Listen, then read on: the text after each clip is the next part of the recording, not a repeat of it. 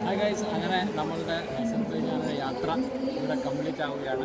വാക്കു എയർപോർട്ടിൽ നിന്നിട്ടാണ് ഇവിടെ പ്രധാനപ്പെട്ട ഒരു കാര്യം നമ്മൾ ചെയ്യപ്പെട്ടത് ലൈബ്രറി എന്നുള്ളതാണ് സാധാരണ ഇതുവരെ ഞാൻ ഒരു എയർപോർട്ടിൽ കാണാത്തൊരു സംഭവമാണ് ഇവിടെ ലൈബ്രറി എന്നുള്ളത്. അപ്പോൾ അതിന്റെ മുന്നിൽ തന്നെയാണ് എല്ലാവർക്കും പറയുന്നത്. വളരെ ബ്യൂട്ടിഫുൾ ആയിരുന്നു യാത്ര.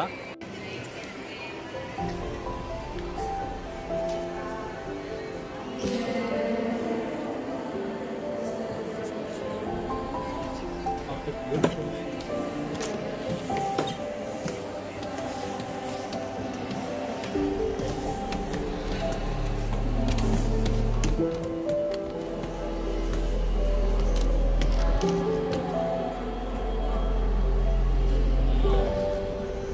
മനോഹരമായ ഒരു ലൈബ്രറിയാണ്.